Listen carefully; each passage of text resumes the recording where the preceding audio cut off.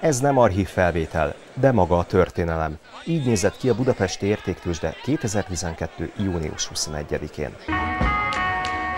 És hasonlóan nézett ki 22 évvel ezelőtt is, amikor a rendszerváltozás után újra megalakult a budapesti tőzsde, ezek már tényleg archív fotók. Sok éven át így az úgynevezett nyílt kikiáltással kereskedtek a részvényekkel a brókerek. Egymásnak mondták, jó hangosan, hogy ki mennyiért adna vagy venne egy részvényt. A mai napon a magyar tőkepiac 20 vezető szolgáltatója, bankja ebből a teremből fogja tőzsdei kereskedésének egy részét lebonyolítani. Különleges azért is, mert több mint egy évtized után újra megelevenedik a régi hagyományos nyílt kikiáltásos kereskedés itt a parketten. Így ünnepelte meg a tőzsde a 22. születésnapját, de ehhez sok előkészítő munka kellett. Nem könnyű ugyanis visszatérni a hagyományos kereskedéshez, hiszen ma már mindent számítógépen és persze az interneten intéznek. A brókerek ma már csak a grafikonokat, adatsorokat és az elektronikusan érkező hírözönt nézik, és nem arra figyelnek, hogy éppen ki mit kiált.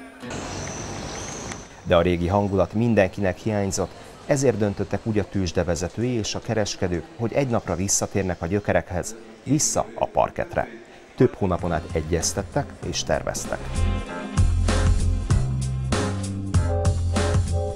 és utána majdnem egy napig építkeztek az eredeti helyszínen, a tőzsde korábbi székházában, a budapesti Vörös Marti téren. A végén majdnem minden úgy nézett ki, mint régen, csak a 21. század vizuáltechnikai elemeit is felhasználták.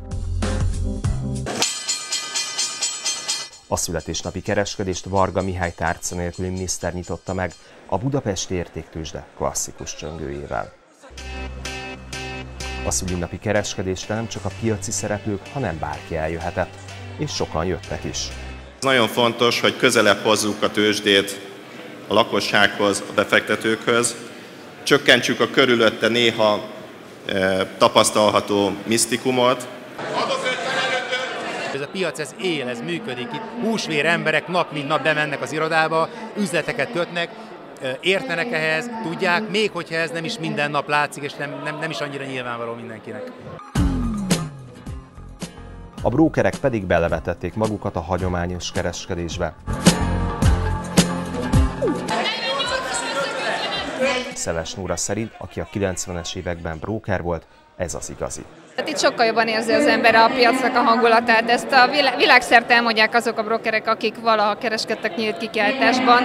9 vettem 20 Valberek Zsolt pedig annak örül, hogy végre nem csak telefonon beszélt a kollégáival. Vannak olyan emberek, akikkel viszont elég sokat kötök, de eddig nem volt rá alkalom, hogy találkoztak személyesen, és itt szembesültem vele, hogy éppen ki az, aki, aki, akivel szembe találkozom.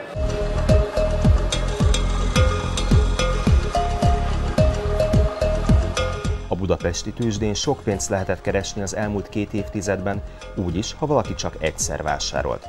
Ha például valaki 1995-ben vett OTP részvényt, akkor ma több mint 28-szor annyit érnek a részvényei.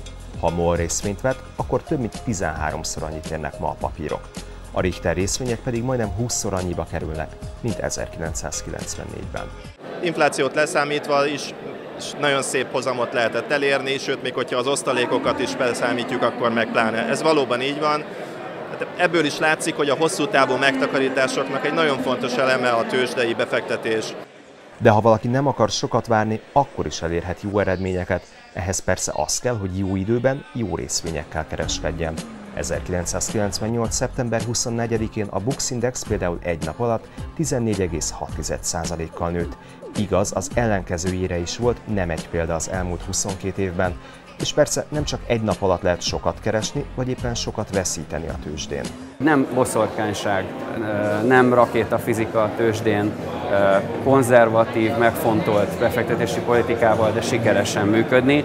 Ez az egyik tipp, Mérő László matematikus szerint pedig nem szabad mindig a tömeggel tartani. Amikor mondjuk egy téma már túlzottan sokan foglalkoznak vele, akkor azt ott kell hagyni, és valami más meg kell próbálni csinálni. Lehet, hogy nem az lesz a következő főirány, de ha az lesz, akkor nagyot nyert, ha meg mégse az lesz, akkor se vesztett sokkal többet, mint ha már lejárt irányt folytatná. Az elmúlt 22 évben összesen 23 millió üzletkötés született a budapesti tőzsdén, az összes forgalom eddig 60 ezer milliárd forint, ez több mint kétszer annyi, mint a teljes magyar éves GDP. Ma egyébként 54 részvényel lehet kereskedni, az első fecske az IBUS részvénye volt 1990-ben a Pesti parketten.